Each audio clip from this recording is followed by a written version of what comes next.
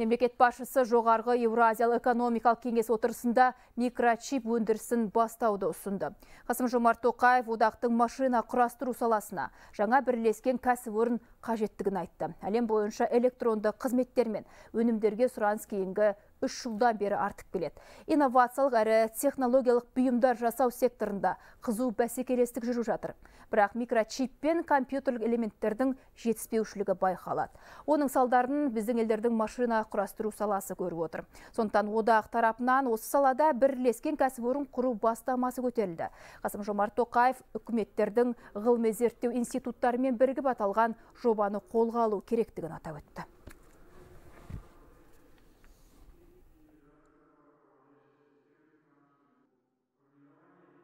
Уже сегодня на мировом рынке машиностроения наблюдаются системные сбои.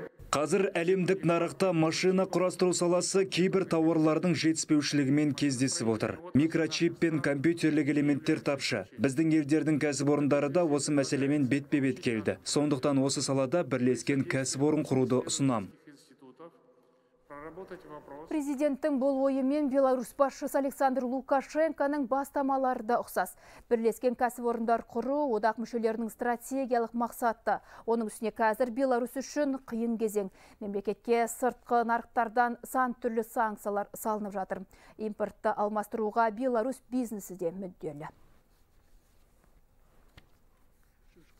Хотел бы поблагодарить за результативную работу. Әріптесім Қасым Жомарт Тоқаевқа және биыл кеңеске төрағалық еткен Қазақстанға атқарылып жатқан жұмыстар үшін алғыс айтып, ел тәуелсіздігінің 30 жылдығымен құттықтаймын. Біздің елдер қабылдаған стратегияға сәйкес бірлескен кәсіпорындарды құру үдерісін үдетуіміз қажет.